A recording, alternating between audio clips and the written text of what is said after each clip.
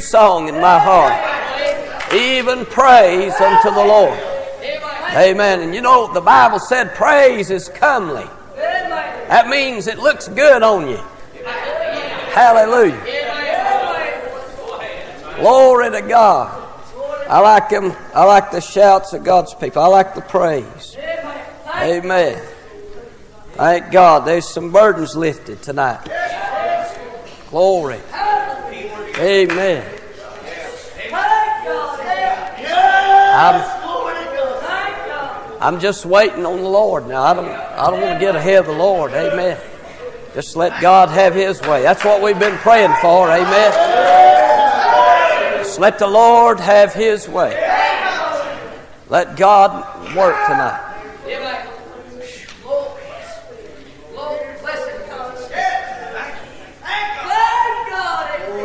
Now, if the Lord wants me to, I'll preach.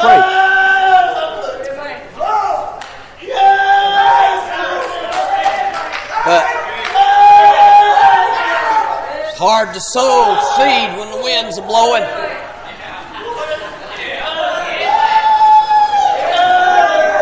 The winds are blowing.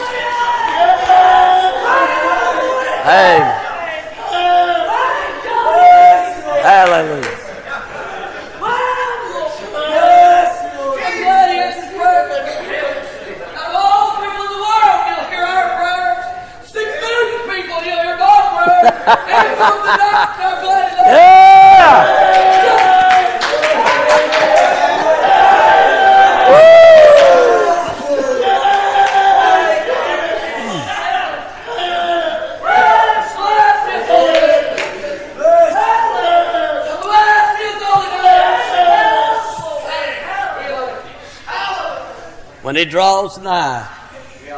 Oh, what a blessing. Go ahead. Like this. For what I feel in my heart. What the Lord's done for me. Bless His holy name. Mm. Grace, grace, grace.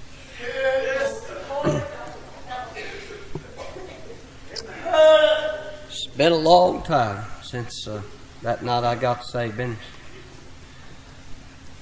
uh, I guess, 35 years ago when the Lord came by that church, the 11th Avenue Baptist Church in Dalton, Georgia. There's having revival meeting, two week revival meeting, and God come through there. And my wife had been attending that church, and, but I had never, I, I hadn't been, and she wanted me to go to that revival. And I promised her one night I'd go. And on that second Wednesday night, of the two week revival meeting. I went with her to church that night. God, in His mercy and grace, uh, He sought me out. I didn't go looking for God, I went to please her. But God showed up. Amen. He was looking for me. And he, uh, he saved me that night. That's been 35 years ago. And if I live till uh, this coming Saturday, I will have been preaching for 30 years. I started preaching on the first day of April, 1970. And I'll tell you, there's been a lot of valleys, a lot of mountaintops, a lot of tears, a lot of blessings. I wouldn't take nothing from my journey now. Hallelujah. Well, Y'all want to hear some preaching or you want, you want to go to house? right, let's look in the book of Ruth, chapter 1. Ruth, chapter 1. I'm, I want to thank you for being so kind to my wife and me this week. We've had a real good time. We got out and rode around today and looked at some of the beautiful scenes around here. Uh, brother, later, Brother Bruce took me up to the campground, showed me the camp. What a, what a marvel, what a glory to the Lord there. And uh, thank God for what the Lord's doing here in this place. Ruth chapter 1, and let's read verses 1 through 6. the Bible said, Now it came to pass in the days when the judges ruled that there was a famine in the land. And a certain man of Bethlehem, Judah, went to sojourn in the country of Moab, he and his wife and his two sons. And the name of the man was Elimelech, and the name of his wife was Naomi. The name of his two sons was Mahlon and Chilion, Ephrathites of Bethlehem, Judah. And they came into the country of Moab and continued there. Elimelech, Naomi's husband, died, and she was left and her two sons. And they took them wives of the women of Moab. The name of the one was Orpha, and the name of the other Ruth. And they dwelled there about ten years. And, and Mahlon, Mahlon died, and and Chilion died also, both of them. And the woman was left of her two sons and her husband.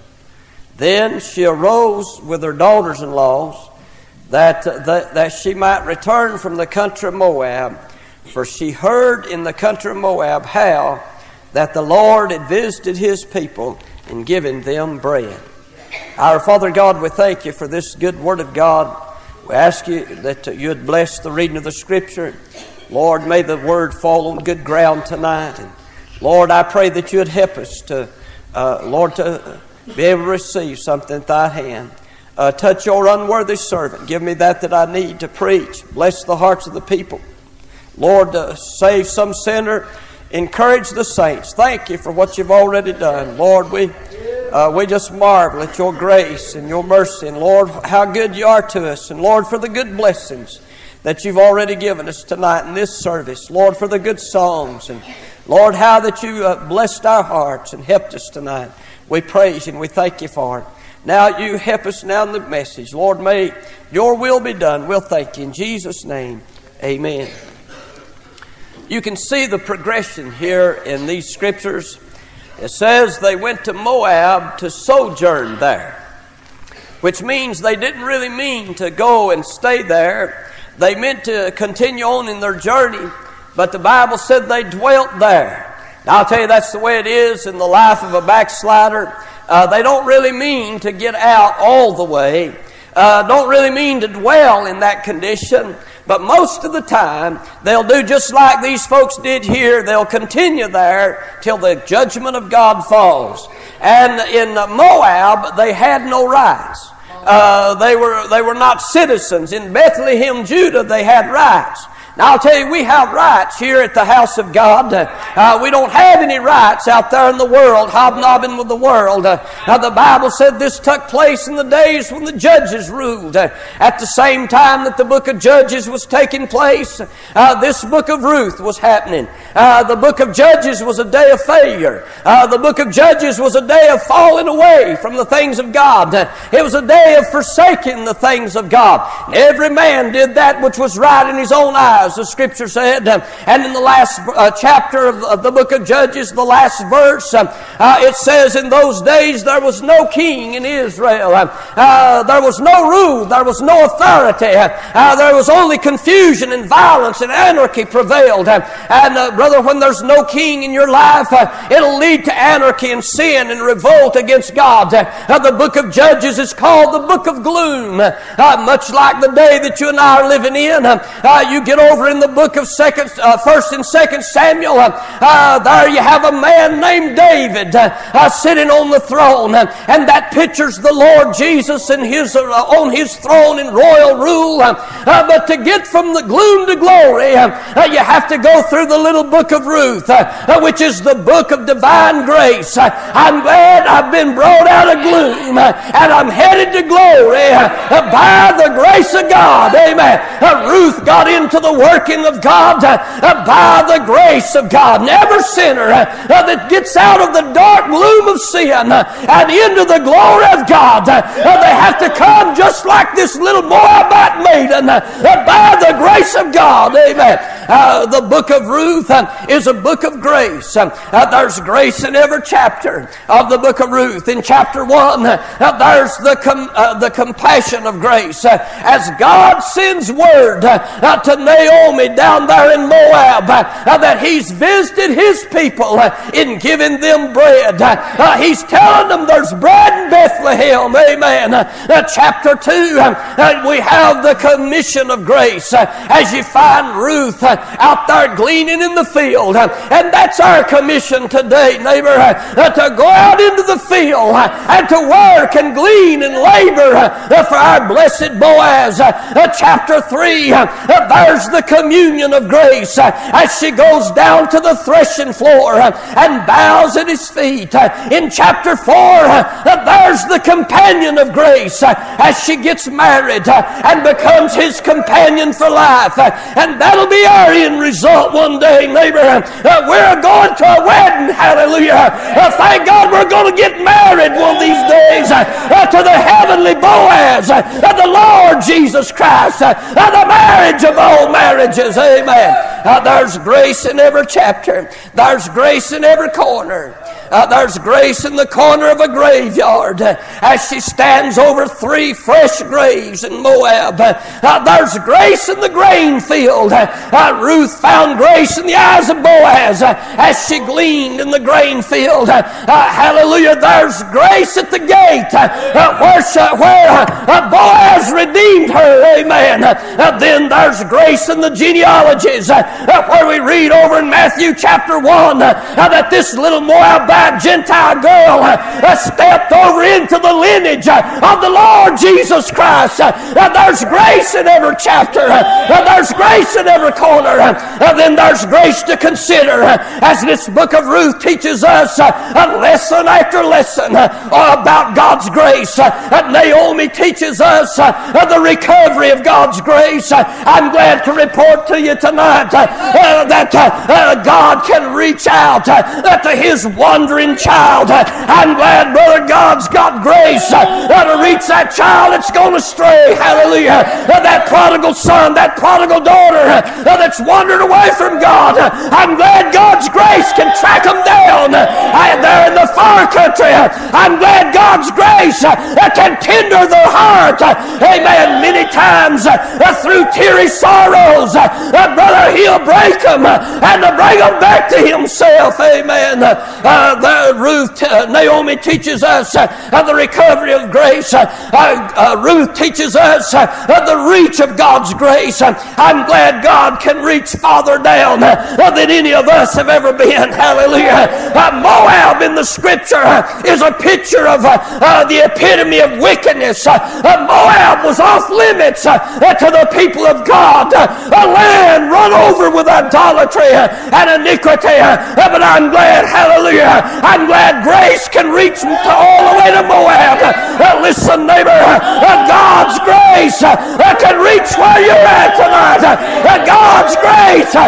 Somebody said, Preacher, I'm hitting the bottom. God's grace can scrape you off the bottom. Amen. Hallelujah. Glory to God. Elimelech and Mahlon and Chilion teach us the restrictions of God's grace. There comes a time, neighbor, when God's done done all He's going to do, and His judgment will step in. And if you won't have His goodness and His grace, there ain't nothing left but judgment. Boaz teaches us the Redeemer of grace. Oh, what a, uh, this wonderful kinsman redeemer uh, uh who went to the gate uh, and he was willing uh, and he had the means uh, to redeem her. Hallelujah. now, Moab is called God's washpot over in Psalm 60 and verse 8. And in this story here, God washed three things.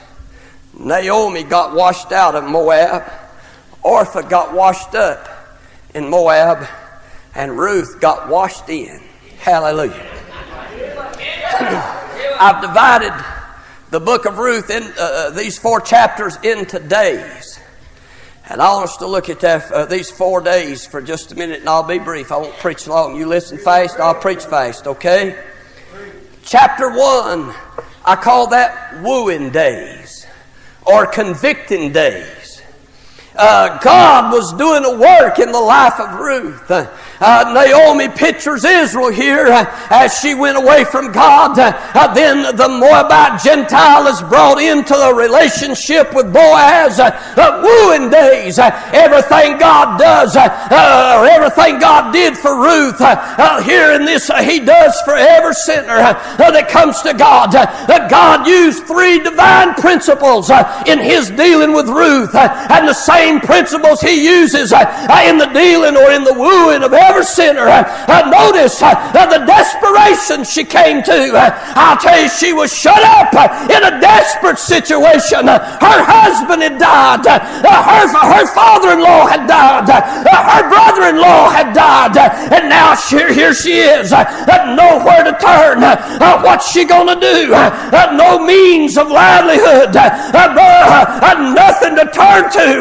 I'm telling you, she's in a desperate situation. I'll tell you, that's that's how I felt uh, that night, brother, many years ago uh, when I got saved. Uh, I got under old time Holy Ghost conviction. Uh, I mean, uh, brother, I saw myself lost. Uh, I saw myself without God. Amen. And there wasn't nothing I could do about it. Brother, I, I was shut up in a desperate situation. What could I do? I could feel hell coming up around me. Brother, I felt in my heart I was going to die and go to hell. I got sick of sin. I'm telling you, I got sick of it. And somebody said, when will so and so get saved? They'll get saved when they get sick of sin, when they get a gut full of it. I tell you, I had a gut full of sin. I was wanting something better. I knew there had to be something better than what I had. I was desperate. And when you get desperate, neighbor, you'll get a looking around to see if there's some way that you get some help. And I called on him in my desperate situation. And he heard this poor man's cry. And he brought me out of that uh, desperate situation that I was in. Glory! Wow! Oh, bless his name! Oh, desperation she came to.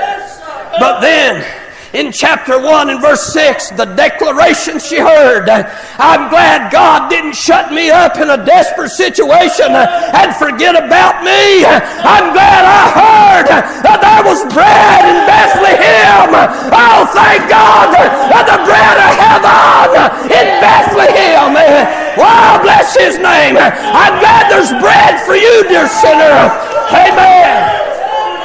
Somebody that told them there was bread in Bethlehem. Aren't you glad that night or that day when you were so desperate uh, and you were so hungry uh, and you needed something? Aren't you glad somebody that stood up and told you that there was bread in Bethlehem, that there was food? Oh, thank God that there was bread in Bethlehem. Woo. Amen.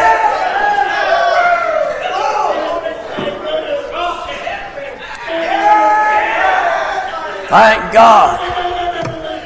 I'm going to start a meeting Sunday by the grace of God for the man that won me and my wife and that discipled us. And I started preaching under him. And he ordained me. I started meeting in his church Sunday. Our pastor that loved us to God Oh, I, can't hardly wait. I wake up at night uh, thinking about getting to preach for my pastor uh, and see him sit there uh, and watch when God gets to blessing him, uh, watch them tears run down his face. Oh, thank God for a man that stood up and told me that there was bread in Bethlehem and told me I didn't have to go to hell, uh, that there was help for me. Amen. Oh, bless his name.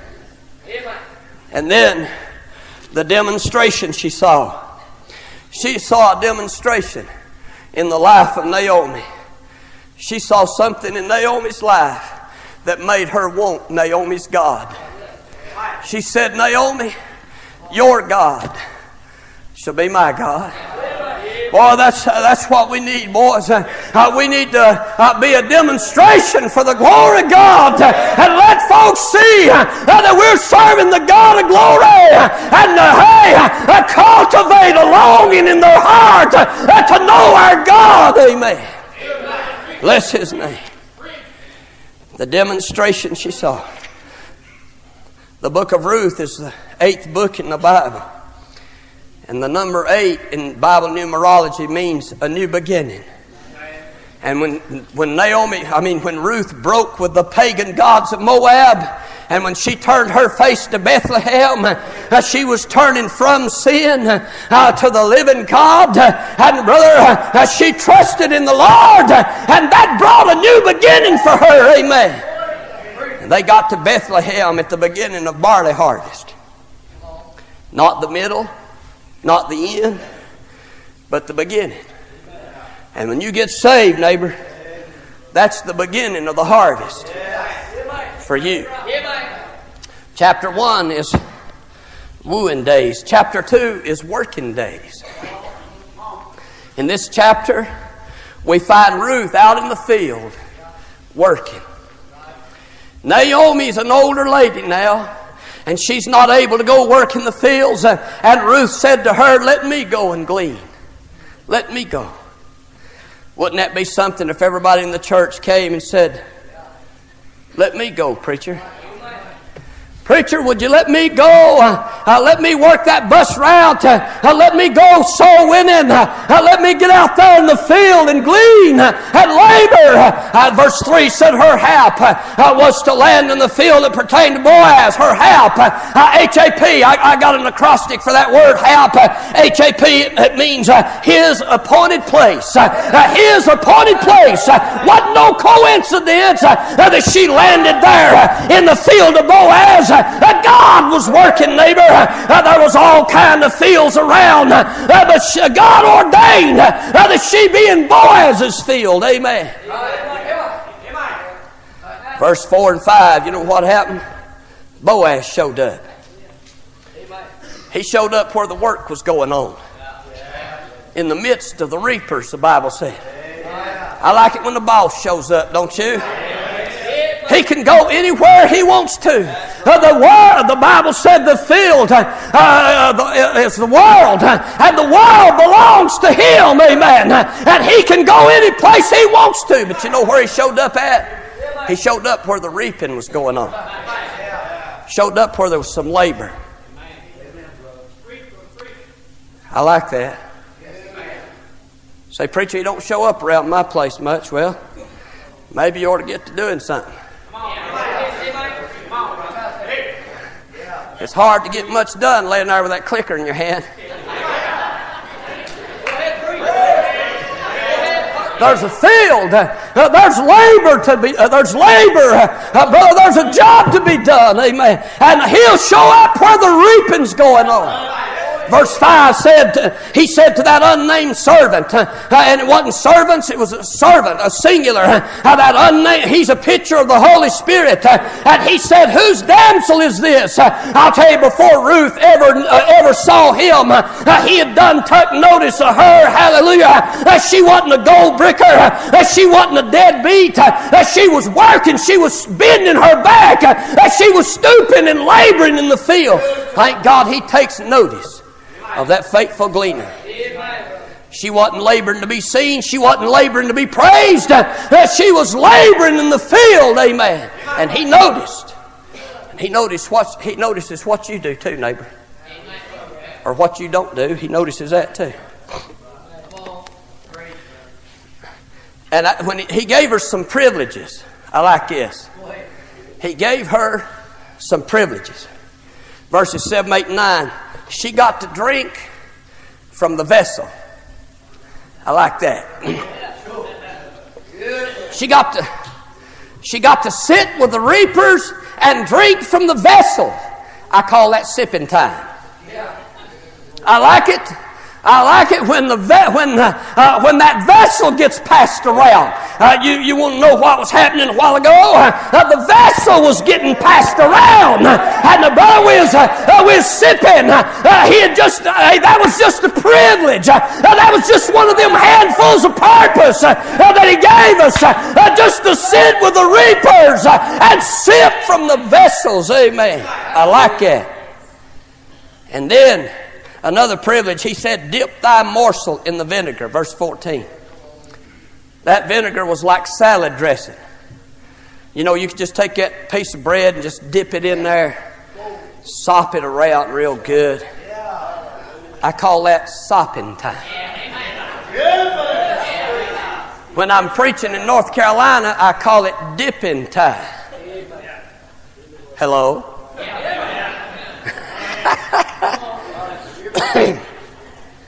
I like to take that piece of bread that the preacher gives out uh, and just sop it down in God's gravy bowl. Amen. I like to sit at the feet of the reapers, uh, uh, God's faithful servants, and, and brother, just get a, a good morsel of bread that I can feed on in the days to come. Amen. But you know what I like? If you'll read on right there, he just bypassed the reapers and he handed her some parched corn from his own hand. Son, it don't get no better than that. It's good to get something from the reapers, to get something from the preacher, from the teacher. But have you ever found yourself uh, sitting there uh, reading your Bible, and, and boy, you, you, you've read it over and over and over and over again, uh, but all of a sudden you'll be reading long, uh, and, something will just jump out at you, uh, something you hadn't ever seen before, uh, and boy, you'll sit there and feast on that. tears of joy. God be blessing you.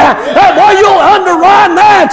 And you'll underline it so hard, it'll go through four, five, six pages. boy, it just blesses your heart.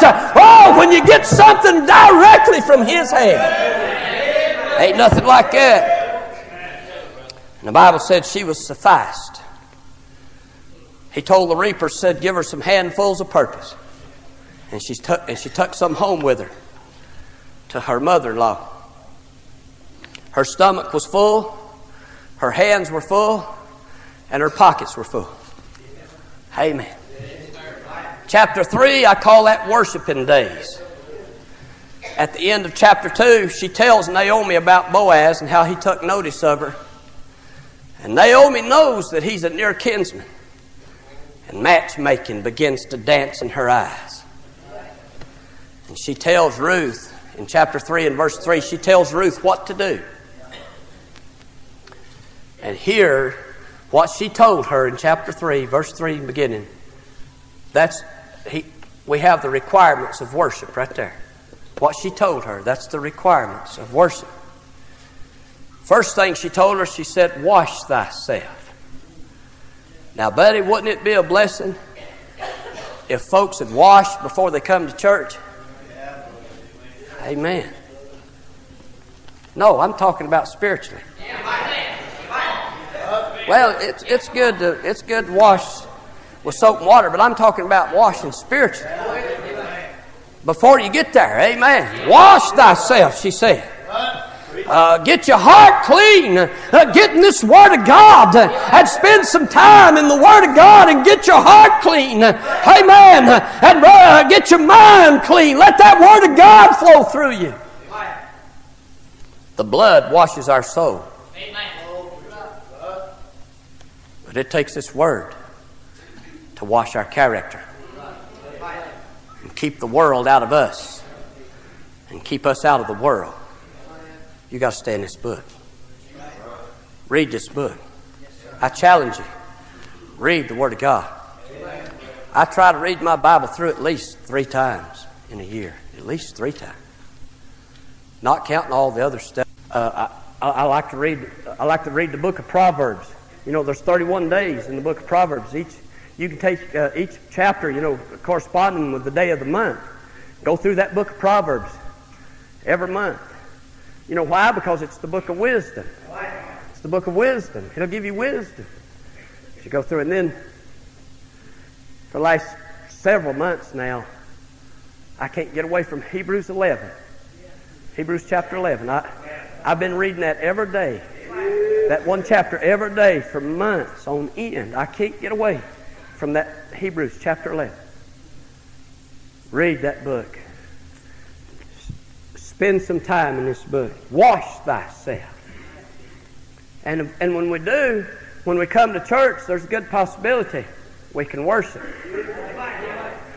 And then she said, Anoint thee, anoint thee. Uh, put on some of that good smelling stuff. Amen. I'll tell you, when we get that blessed anointing of the Holy Ghost, uh, uh, that sweet smelling oil of the Spirit of God, uh, brother, when, when that gets to flowing, uh, uh, there's a good possibility that we can worship. Amen. And then she said, Put on thy raiment uh, and get down. Uh, put on thy raiment and get down. Uh, you don't go up to worship, you go down to worship. Get down. And if we'll get down, if we'll get off our high horses and get down and get humble before God, we can worship. Amen. We can worship. Uh, and people that take that uh, own these stores and manage these stores. They know how to do it. When you go in them stores, first thing you see is them candy and bubble gum racks. I mean, it's right there, buddy, as you go in the door. And all the good stuff, all the candy, the, the, the bubble gum and the, and the Tootsie Rolls and the, and the M&Ms and all that stuff's down on the lower shelves. You know why? So, little, so when you take your little youngins in there, they can grab it. It's low enough.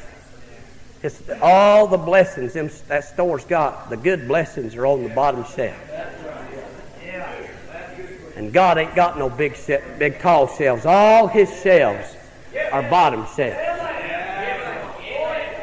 If you're going to get anything from God, you're going to have to get down. Get down.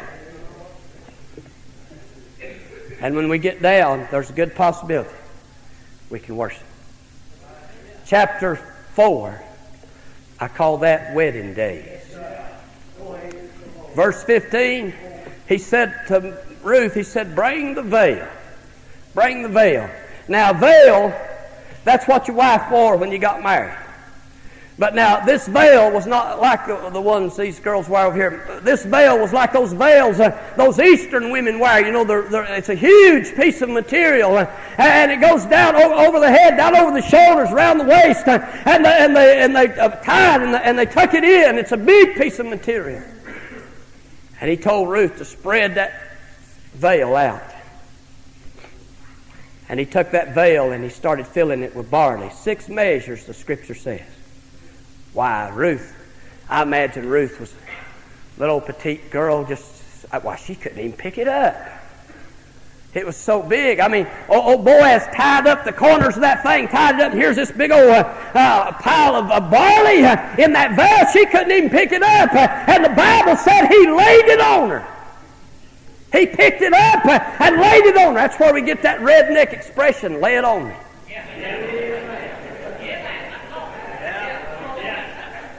And uh, he, he laid it on her. She goes staggering off up toward the house uh, with that big old uh, pile of barley. Uh, I told you a while ago um, that she had a stomach full, she had hands full, she had pockets full, uh, and now she's got a veil full. Uh, oh, listen, it's good, brother, when you stomach, hey, it's good when, when you start getting filled up, your hands get full.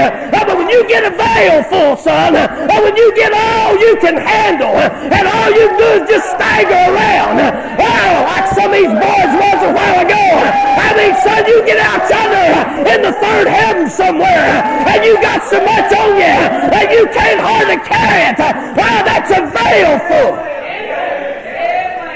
Well, I like that. I do a lot of driving at night. I'll get me a good preaching tape, Old Maze Jackson or some of them fellas, Edgar Thomas. Stick me a tape in there or some good singing. Somebody's talking about the inspirations a while ago. Some good inspiration singing or or I got I got that tape. My son them's got a, a tape, a CD. Son, I'm telling you, there's two or three songs on there. There's one they, there's one they say, listen, it says, Nothing can touch me unless it passed through his hands. I'm telling you, son, I get me a veil full every time I hear that.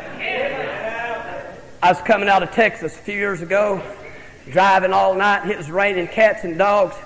And boy, I had one of them good tapes on, and I was a shouting. Boy, I, I was a crying and a shout. You, you, you get that way, son.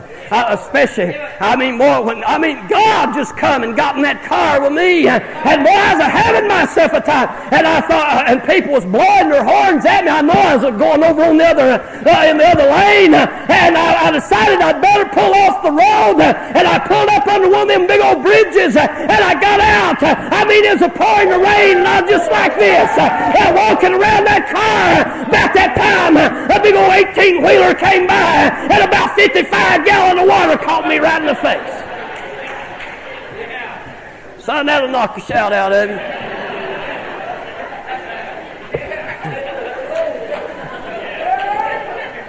Hey, I needed that shout. I needed that. Uh, but I probably needed that good water too. Keep me awake for a long time. Until my clothes dried out. I tell you, buddy, uh, what a blessing to get a veil full. Uh, just get all you can handle. Amen. Worship. I like it. Naomi, when she got up there to the house with that, threw it down the floor.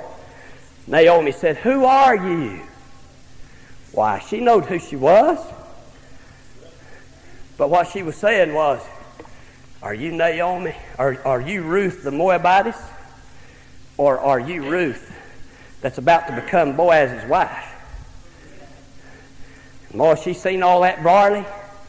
That big old pile of, I can see her and Ruth, they lock hands and they start dancing around that, that big pile. And Naomi's saying, son in law, son in law, son in law.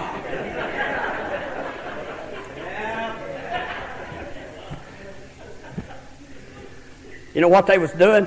They was enjoying the earnest. That bar, that six measures barley, that was the down payment. The earnest. And what you and I have tonight, the earnest of the Spirit of God, we just need to enjoy it. Amen. Hallelujah. Boaz got the elders in the gate, and the other near kinsmen had to be dealt with, but he wouldn't redeem Ruth. So Boaz went walking away from the gate, with three shoes, two on his feet and one in his hand. That's how they would transact business back then. When he when they made that deal, that, that other landowner, he took off one of his shoes and gave it to Boaz, and Boaz possessed that shoe, and that was a token that uh, that uh, that uh, uh that transaction had been made, and uh, Boaz had redeemed Ruth at the gate. And at Calvary, what the law couldn't do, our near kinsman, the Lord Jesus, was able and willing to do. He paid the price.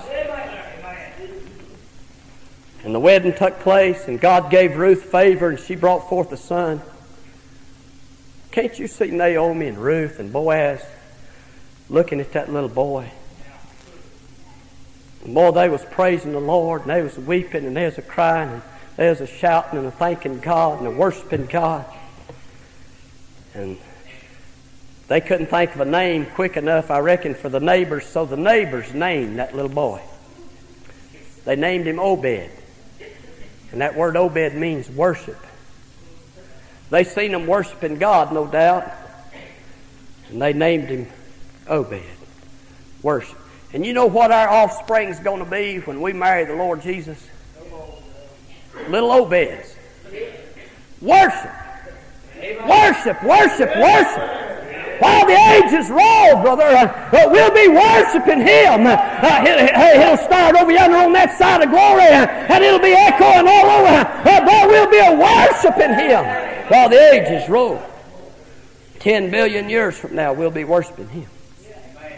And when the wedding took place, Ruth didn't have to glean anymore.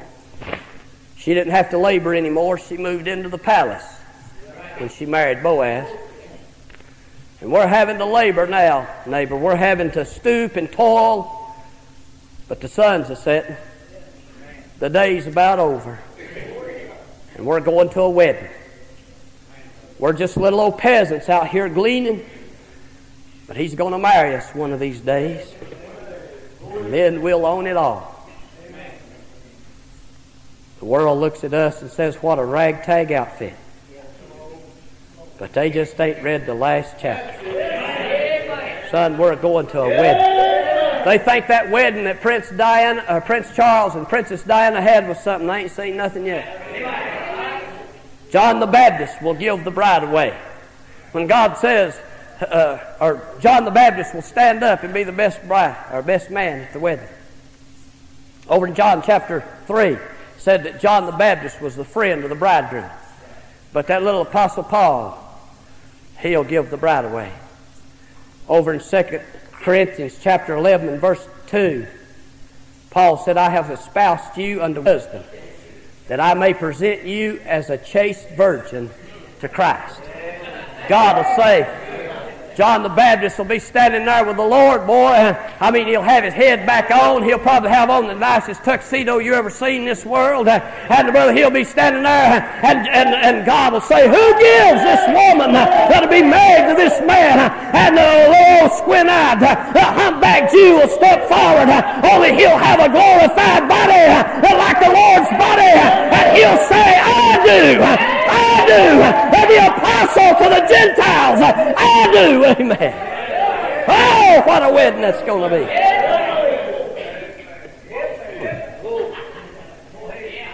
My son married a little girl from down in South Georgia, a little place called St. Mary's, Georgia. Her daddy's a military man, retired military man. He is rough as pig iron. And when Shannon asked Tracy to marry him, she said, I'll marry you, but you'll, you'll have to ask my daddy. said, You'll have to go ask daddy for my hand. Boy, he dreaded that. I mean, you just have to know Mr. Martin. He dreaded going and asking Mr. Martin.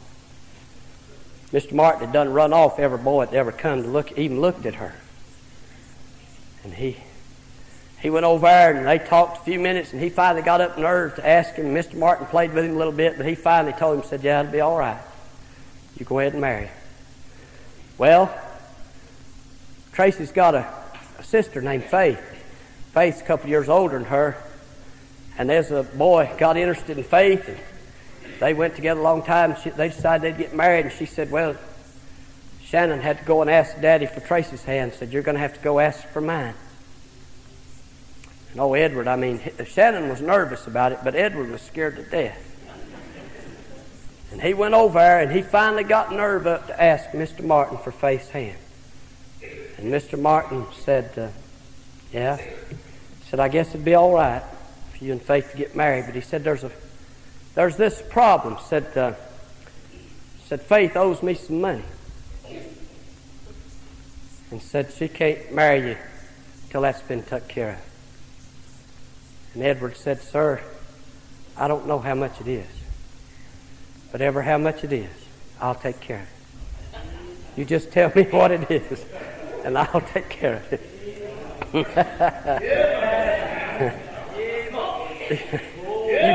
you, got that,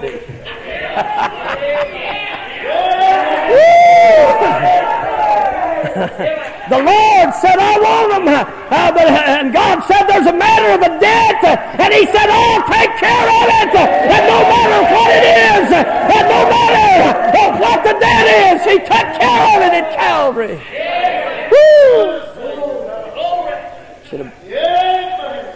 Let's stand with our heads bowed.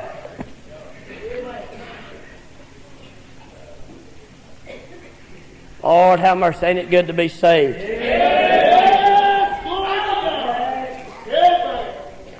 A lot of us already visited the altar, but there's still time for you tonight. If you'd like to come get something took care of here at the altar, we want to give you time to come and pray. Lord, it's good to be able to unburden our hearts at an altar of prayer. If you're not saved tonight, if you'd come, Jesus would save you. He's, he's not going to make you be saved. He loves you. He, he's, uh, he's gentle. He'll strive with your heart. He'll plead with you. But just like Orpah, you can turn and walk away. Please don't go away tonight. Don't choose darkness over light. Don't choose hell over heaven. Come to God tonight and be saved. One heartbeat's all one heartbeat away from hell. If you'd come, he'd save you. If you'd step out right now, Brother John's going to lead us in a good number. We'll sing a couple of verses, give you an opportunity to come pray tonight, and then the service will be over. Well, we've had a good time tonight. Wouldn't it be a blessing to see somebody saved? If you're away from God, wouldn't it be a blessing to come? Say, Lord, I want to get back in the fight. Lord, I want to get things right. Come while we sing. Sing, Page 291. God's speaking. You move right now. Jesus is tenderly calling thee home, calling today, calling today. He's calling. Why from the sunshine of love wilt thou roam, farther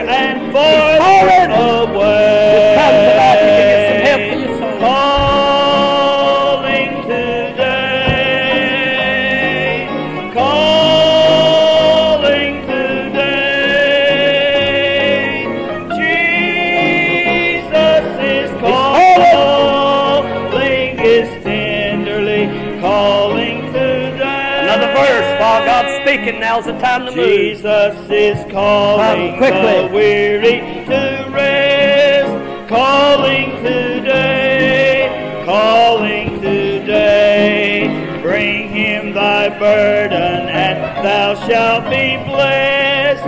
He will not turn thee away.